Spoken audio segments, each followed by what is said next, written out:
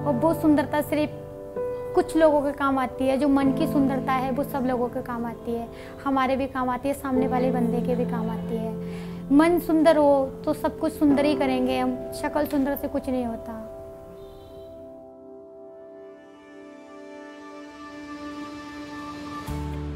With Not in Vain, it's about the bigger picture of pageantry that I didn't create, but I am now in a position to communicate. It was taught me by the girls. The girls told me that I felt empowered. The girls told me their lives had changed. The girls told me pageantry enabled them to make a difference. That led me to Not in Vain.